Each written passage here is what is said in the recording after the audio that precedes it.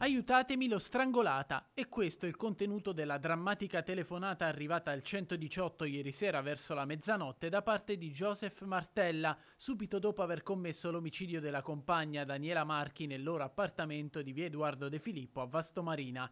L'uomo ha chiamato anche le forze dell'ordine e poi è salito al piano superiore dove ha chiesto aiuto a due condomini. Quando i ragazzi sono arrivati nell'appartamento hanno trovato Daniela Marchi riversa a terra ormai priva di vita e il filo elettrico nero con il quale è stata strangolata accanto al corpo. A nulla sono serviti i soccorsi dei sanitari che hanno solo potuto constatare il decesso. Presumibilmente eh, la donna è stata aggredita da, da, dietro, da dietro le spalle, specialmente insomma, dal solco che presentava l'altezza del, col, del, collo, eh, visto che è stato usato insomma, un cavo di, elettrico di, di spessore rilevante che ha lasciato dei segni ben evidenti.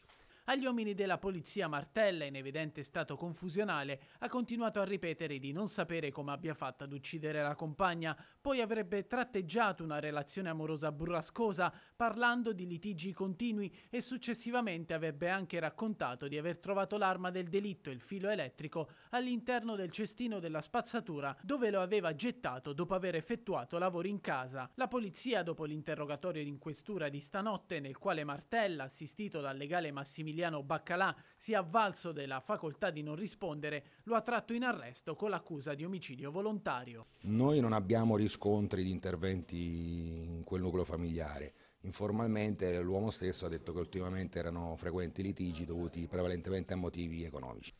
Sì, in effetti le modalità insomma, di, di, intervento delle forze di soccorso dovute appunto alla chiamata del, del Martella fanno pensare a un reato di impeto, a un omicidio di impeto a seguito del quale poi lo stesso Martella si è reso conto della gravità dei fatti che ha, che ha commesso.